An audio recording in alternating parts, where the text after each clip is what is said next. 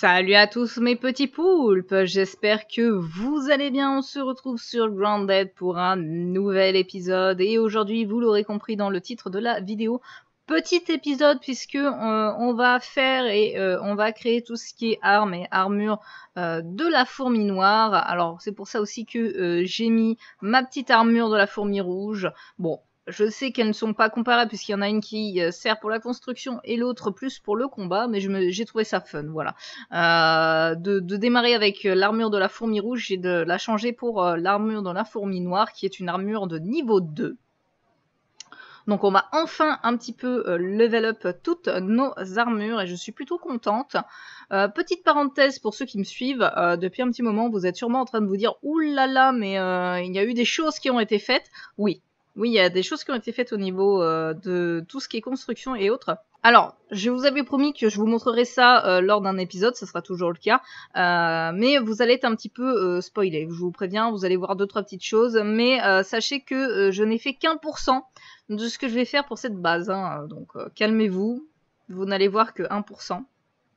Du coup, l'armure de la fourmi noire, je l'ai débloquée grâce euh, à l'augmentation du niveau de euh, la matière grise, ou euh, en, si vous voulez la débloquer plutôt en analysant des morceaux, des têtes, etc. de fourmi noire. Donc moi je l'ai débloqué, donc voilà, j'ai débloqué le niveau 9 et le niveau 10.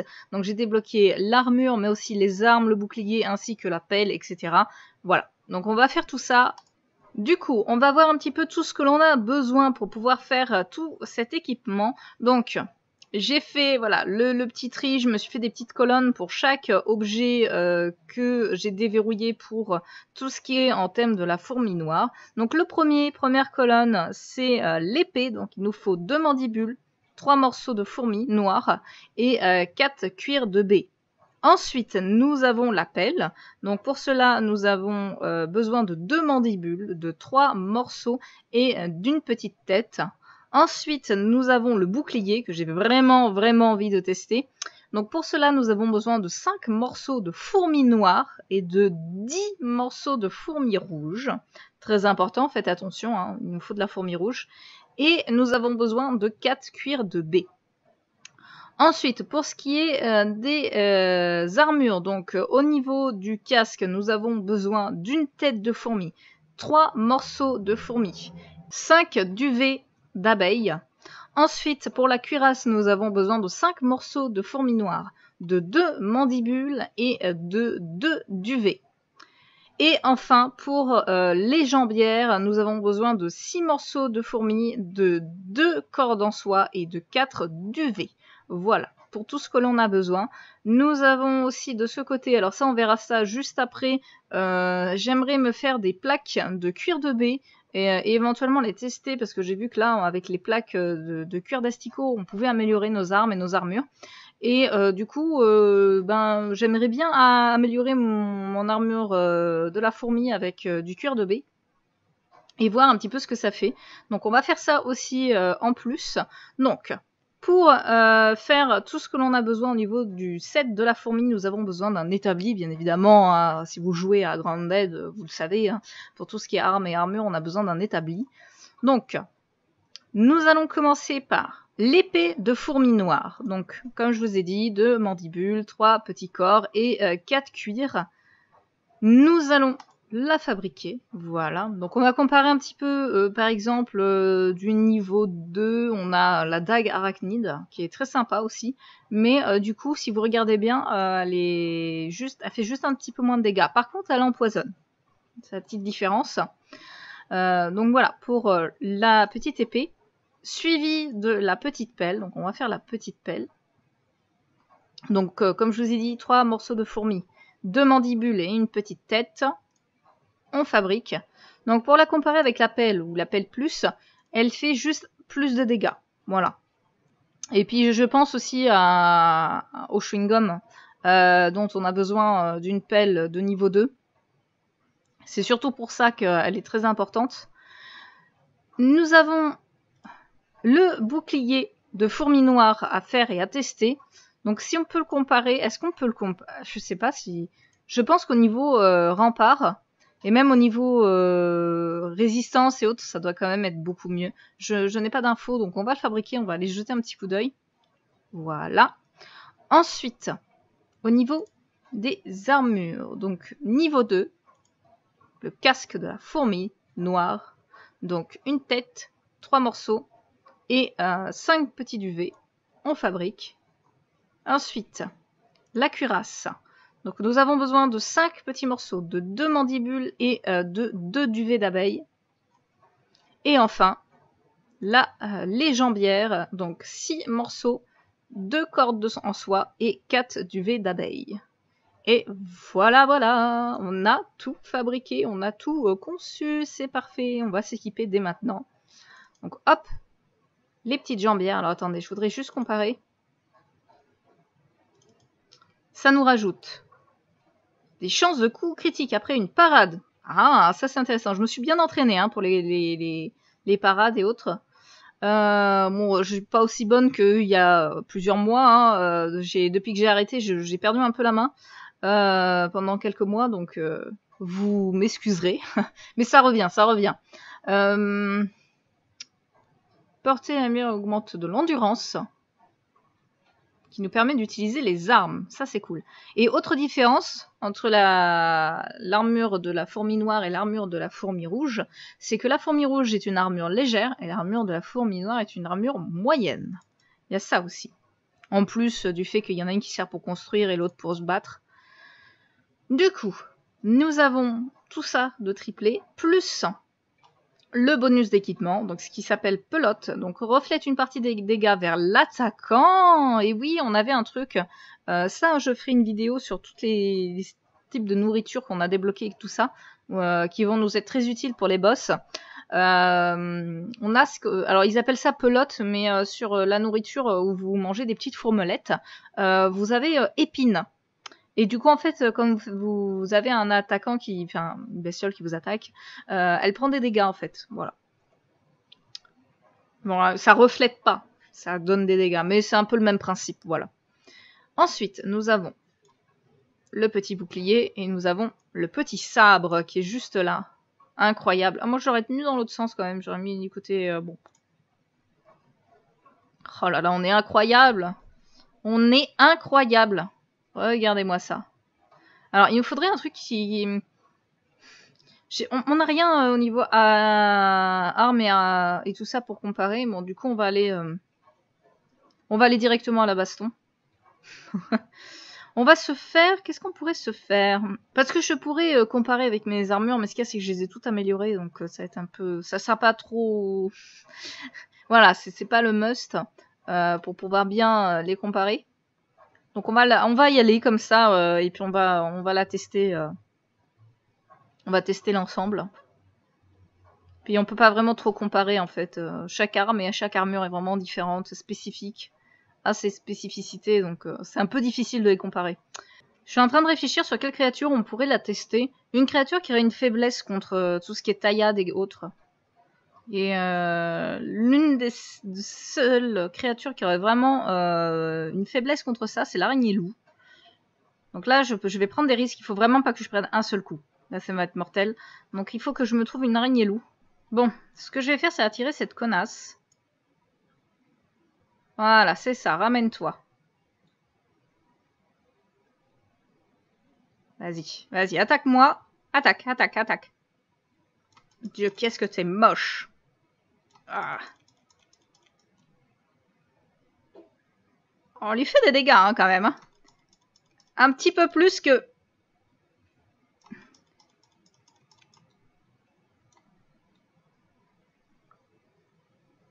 Un petit peu plus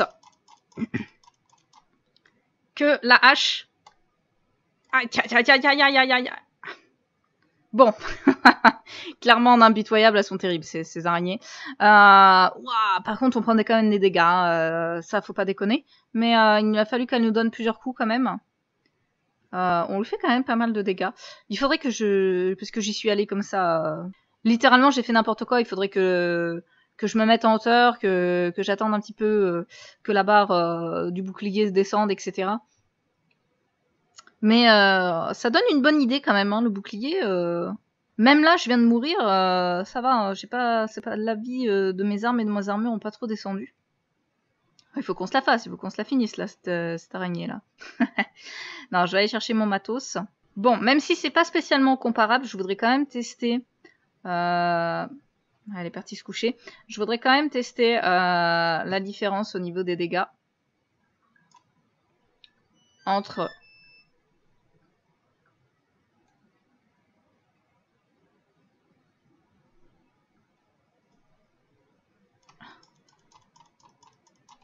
mon épée. La hache, ça fait mal quand même. hein. La hache fait mal, hein.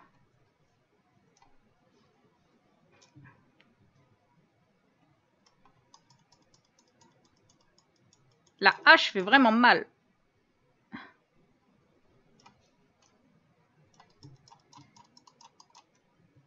Aïe, aïe, aïe, aïe, aïe, elle m'a empoisonné. Elle m'a empoisonné. Mais ça va, ma... Putain, mais d'habitude, tu me fais plus de dégâts, là. Aïe, aïe, aïe, aïe, aïe, aïe, aïe. Bon, là, elle m'a bouffé. Elle m'a bouffé, littéralement, là, elle m'a bouffé le cul. Euh, bon. On a pu tester. Je sais pas, j'ai l'impression que la hache fait plus de dégâts. J'ai pas mis de mutation, hein. Je, ne pense pas avoir mis de mutation. Ah bah si, la mutation de la hache. J'ai la mutation de la hache niveau 3. Euh, j'ai les trois phases qui sont débloquées. Ok, alors qu'est-ce qui pourrait nous... Parce que je l'ai testé euh, avec euh, une mutation, il faudrait qu'on fasse euh, un truc similaire. Hache. Coup de chance.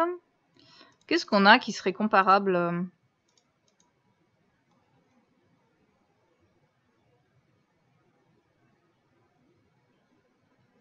Ça, c'est pour les dagues. On pourrait faire maître de la parade. Euh, mais ça ne sert à rien. Non, non, euh, je voudrais juste tester comme ça. Du coup, me au point de départ. Je récupère ça. Alors, euh, j'ai enlevé euh, la mutation de la hache. J'ai mis euh, résistance au poison. Voilà. La petite mutation mitridatisation. Donc, j'ai mis celui-ci. Comme ça, ça nous permettra de résister un petit peu plus et on pourra tester un petit peu plus. Mais clairement, je vais me faire démonter. hein, ça reste une araignée loup. Allez, viens là. Viens par ici. Allez, montre-moi. Ouf. De quoi tu es capable. Allez, viens. Allez, viens là.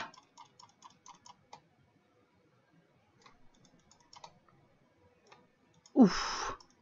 Là, il y a une parade parfaite, là. Allez, allez, viens par ici. Ah, je me suis fait tuer. Bon, je voulais euh, m'échapper, essayer de la tuer. Euh, je me suis fait tuer, elles sont, elles sont trop fortes. Elles sont trop fortes en impitoyable, elles sont trop fortes. Bon, clairement, euh, en enlevant euh, la mutation, j'ai pas vu de grosse différence, pas beaucoup. J'ai l'impression que je fais pas euh, à peine moins de dégâts avec la. Ça, c'est peut-être le lié au fait que je sois en mode impitoyable et que il n'y a pas de grosse différence euh, dès que j'ai des bonus.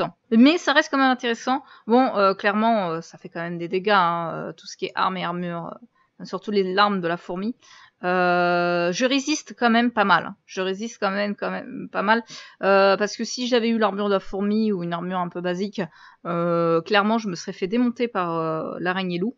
Mais euh, quand même, il faut quand même plusieurs coups pour me tuer avec l'armure euh, de la fourmi. Euh, par contre, j'ai pas fait gaffe parce que normalement, quand elle me donne des coups, elle est censée prendre des dégâts. Et je j'ai pas eu le temps en fait de regarder euh, pendant le combat. Mais je regarderai en hors cam quand je ferai le montage. Je verrai un petit peu, mais je pense quand même que j'ai dû lui faire quelques dégâts. Après, on a quand même réussi à lui enlever plus de la moitié de la vie sans prendre trop de dégâts ou sans mourir. Donc c'est pas trop mal. Je pense que si on gère bien, euh, on a une bonne armure contre ce genre de, bestioles. Ça peut être sympa parce que des fois il y a, besoin de, récupérer des morceaux d'araignée loup, donc euh, tout ce qui est euh, crochet, et tout là, d'araignée ça peut être une, solution pour pouvoir aller se les faire.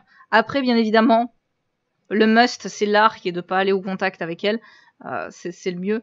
Mais ça peut être sympa, ça peut vraiment être sympa. Ça peut être euh, aussi euh, une armure euh, qui me permet de pouvoir remplacer mon armure de la Cox.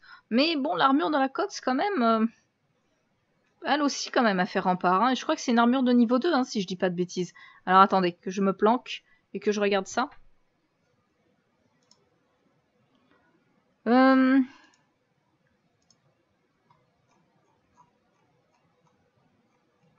Ah, ça, c'est les armes. Armure. L'armure de la Cox, quand même. bon, après, c'est une armure lourde.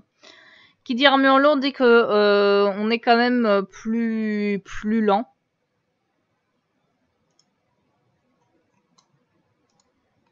Ouais, elle est un peu plus résistante. Un peu plus résistante. Mais... Euh... Et puis bon, elle est vraiment faite, voilà, rempart, c'est vraiment fait pour être imparable. Au coup. Euh, après, il y a, une petite différence, c'est que l'armure lourde, ça nous ralentit énormément, contrairement à, une armure moyenne ou légère. Donc, euh, ça peut un petit peu... ça se compense. J'ai envie de dire que ça se compense, ça sont intéressantes toutes les deux.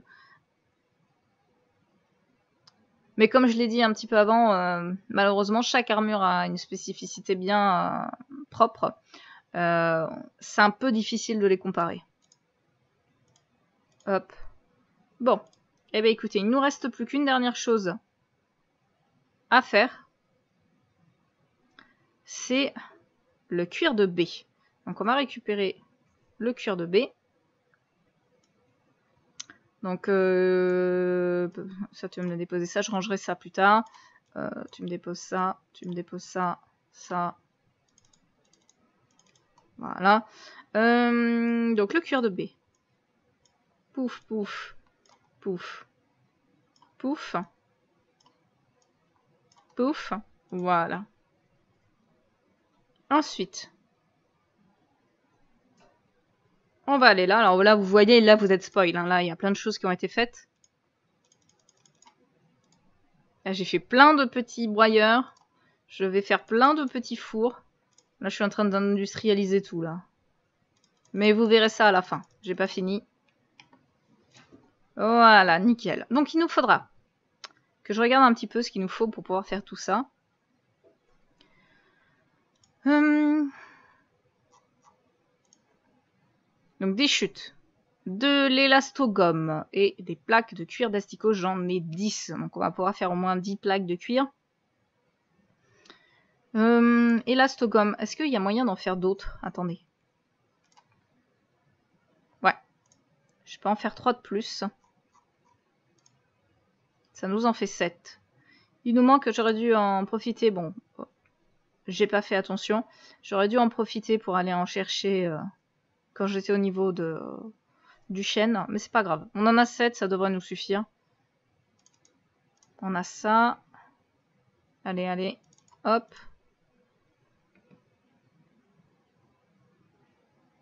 Après, je le dis, je le redis, hein, mes, mes vidéos, c'est pas non plus des vidéos euh, tuto je donne des petites, euh, voilà, je vous explique un petit peu ce que je vais faire, etc. Euh, mais bon, vous attendez pas à ce que ça soit des trucs euh, super bien faits, nickel chrome. On va se calmer. du coup, je peux en faire 5 et 2 de nouveau. Ok, nickel. Bon, ça devrait suffire. où est-ce que je range les plaques de cuir de machin? Alors ça, c'est cuir d'asticot. Cuir de baie. Hmm, où est-ce que je mets la baie? J'ai rien pour mettre les B. Bon, c'est pas grave. On va mettre ça là. On va faire un truc spécifique pour les B. J'aurais pas eu besoin d'emmener tout ça en fait. Ça sert pas forcément à grand chose. Hop, donc nous avons cette plaque machin. On va peut-être pouvoir améliorer ça. Je ne pense pas. Alors attendez, pour améliorer. Ouais, du quartzite forcément. Donc ça va pas nous servir pour euh, les armes, à moins que le bouclier, on ne peut pas l'améliorer. Intéressant. Ça c'est intéressant. On ne peut pas améliorer le bouclier. Par contre, on peut améliorer les armes et les armures. Ok. Ok, bon, je viens de regarder un petit peu euh, sur les wikis et autres, il n'y a rien. Même sur les wikis anglais, euh, j'ai l'impression que arrivé à, un moment, ils ont arrêté de mettre à jour en fait leur wiki et euh, du coup on n'a pas trop d'infos sur euh, les dernières nouveautés. Il y a quelques infos sur quelques trucs, mais on n'a pas toutes les infos. Donc euh, je ne sais pas pour le cuir de blé, vous me direz. Vous l'avez peut-être, j'espère, les plaques de cuir, vous avez peut-être déjà testé. Normalement, c'est du niveau 2. Je viens de lire, donc normalement c'est du, voilà, c'est du, c'est du niveau 2. Hein. Donc la logique voudrait que on l'utilise pour du niveau 2. Non? Attendez. Euh... Par exemple, si je prends ça, hop, je l'ai déjà amélioré. Est-ce que si je le mets, je peux faire autre chose? Non. Ou alors il faut que j'atteigne un certain niveau euh, d'augmentation, je ne sais pas. Écoutez, je voulais tester. Je m'attendais à ce que je puisse améliorer mes armes et mes armures, mais euh, visiblement ça se fait pas comme ça. Ce qui est vraiment dommage.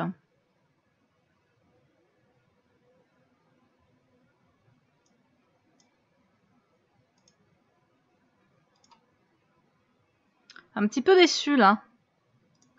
Un petit peu déçu. Bon, je me renseignerai. Voilà, bon, je voulais le faire comme ça. Je, pensais que ça allait faire comme euh, le, cuir d'asticot et qu'on allait éventuellement avoir le choix. Il y a possibilité de faire une action, donc... Euh, donc euh, éventuellement peut-être de changer, je ne sais pas. Peut-être un bug. Bon, vous me direz. Bon, eh bien écoutez. Euh, je pense que c'est la fin quand même de cette euh, vidéo. On aura vu pas mal de petites choses. On aura testé pas mal de petites choses. Je suis plutôt contente. Euh, je pense que ça, ça va être mis de côté. On va garder l'armure de la fourmi noire pendant un petit moment. Parce qu'elle me plaît bien. bien. du coup, ça, je vais mettre ça là. Et voilà puis on n'est pas beau comme ça, là, avec cette magnifique petite armure. Incroyable Et puis il faudrait que je teste aussi, alors je pense pas, mais euh, que je faut que je vois si euh, les fourmis noires euh, m'attaquent ou non, si je mets ça. Mais ça, ça sera pour une prochaine fois. vu que je me promènerai avec presque H24 maintenant, on, on, testera ça lors d'une prochaine vidéo, lorsque je ferai de l'exploration et autres. Il y a un dernier coup d'œil que je voudrais jeter, c'est au niveau des réparations. Ok, 4 morceaux de fourmis. Du quartzite, des mandibules, j'ai ce qu'il faut. Qu'est-ce qu'il nous faut pour réparer Parce c'est bien de les construire, mais il faut aussi les réparer, les entretenir. Hein, euh. Ok.